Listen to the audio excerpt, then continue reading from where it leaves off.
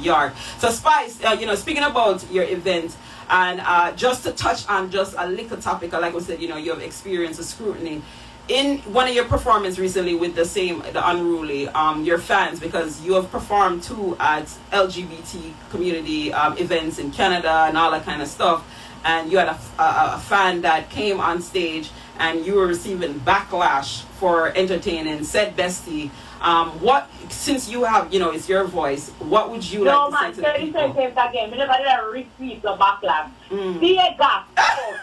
About it. Jesus, No, we never did receive the backlash. Alright, If Mr. Vegas. come say something about it. yes so how do you feel Bad mind Vegas? Come out, come say something about it.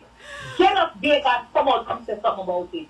Mm. Yeah, just start to Yes, yes, ask me the yes. So Mr. Vegas did come out and you know he's scrutinizing your performance, and then of course you decide to drop the video showing that if even the call and I said we're the other transgender, then they must come. Thank you very much. I can't lie to your body. Attitude. I just see the things then, but ah. Yes, so How is it like make this make sense? It's a lot of hypocrisy that is happening with the music.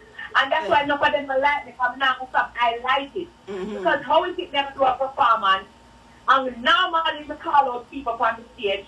You know, you ever see a performance stop and say, What's your sexual preference? Who you are and say, I don't do that. Like, come on, make it make sense. So I call up someone and it happens to be Mhm. somebody that is from the LGBTQ. And when you are telling them, you can run them and tell them, I'm coming on for the stage, but you have an interview that you did in the past. Saying that when you saw the trans transgenders, let's be very clear, Mr. Vegas, Mhm. you call them and hug them up and ask if no more or less, you hug them up and take picture. So why is this, what, what's this hypocrisy? Mhm. And Trying to assassinate my career Mhm. because you feel like we don't remember your interviews, Mr. Vegas. You're a hypocrite. That's the problem. And it's not just him. I'm just them jealous to see me and them a come from the same era, but me still a real Yes. now and nothing and go on to them. So I cloud chase him, cloud chase, but he never remember that I have a fan base named Best Food. We have all kind of receipt from in the past. So me mm. just remind him to stop your hypocrisy. Because you love transgender, you love transgender. Just like how you love them, you love them.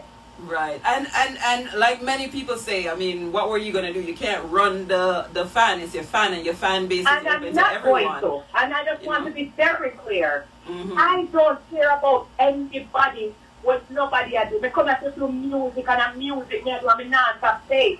I'm doing music, I'm doing a how is it that somebody ever come?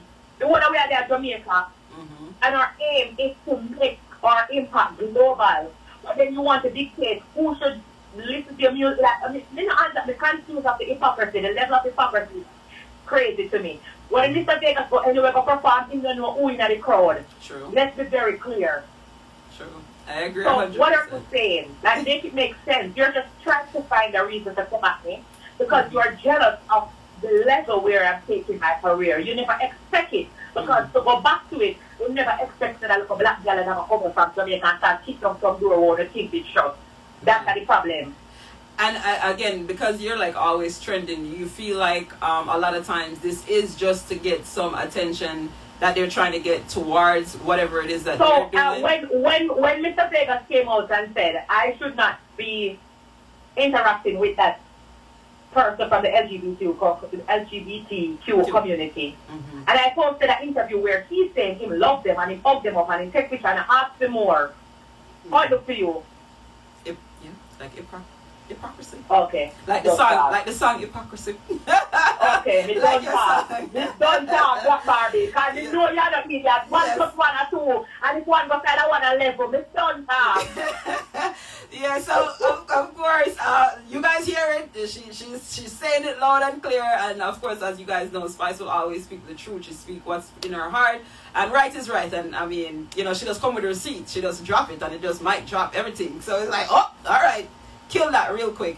But I have to say, you know, big up to yourself. Um, try to just drown out the noise. Uh, again, I know that it's really hard to do, um, especially on your level. And as you said, you know, staying current for over 25 years and doing it really big is definitely a milestone that we have to commend and congratulate. So congratulations to you. Keep doing your thing.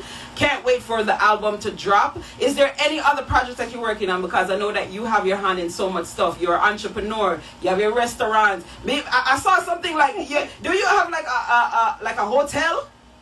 in a one country, Ah, Jesus. country. Can't tell the people everything. Just tell the people them say, keep your eye on the prize and keep focused. Prayer and hard work conquers all. Don't follow the knife. Just focus. Yes.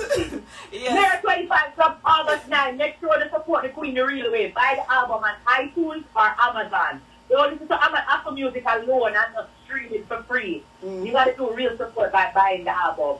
Yes, yes. I remember August 9th, August 9th, August 9th. Make sure that you definitely go and get it. So, Spice, big shout out to you. Thank you so much for taking the time out to do this interview again. I wish you nothing but the best. I don't know say support from a long time and, continue to support you throughout your entire music career. Cause we say one love. We're the Leo, the Leo sis. I love you. Happy birthday Love when you. it comes. You got yourself. Thank you so much. You are so welcome. But before you leave us, I'd love for you to actually introduce uh, one of your tracks off the album, Mirror 25, with the bro bro, Mr. Busta Rhymes, for Radioland right now.